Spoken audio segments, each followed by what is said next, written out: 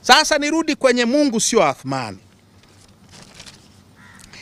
Inaelekea inaelekea hawa wauaji walikuwa na wawezeshaji, walikuwa na wawezeshaji ambao sio watu wa serikali,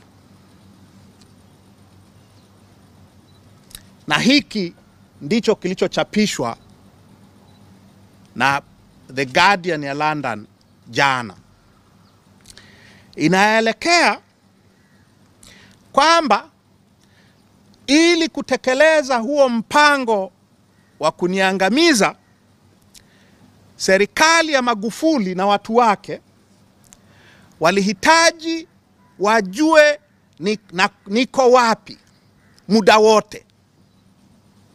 Na kwenda wapi, nazungumza na nani muda wote,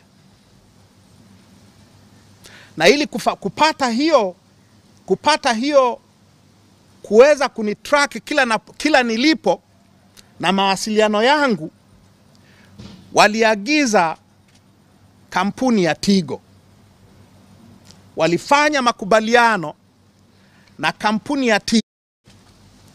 Ili kampuni ya ifuatilie mienendo yangu, ifuatilie mawasiliano yangu. Mahali popote nitakapokuwa. Na kupeleka hizo taarifa kwa hao waliokuwa wanataka kuniua.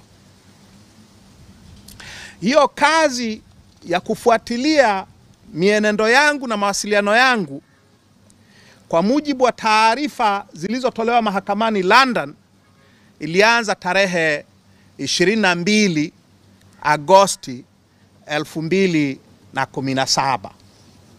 Sasa nataka tutafakari kidogo hiyo tarehe ishirini na mbili. Ni tarehe muhimu.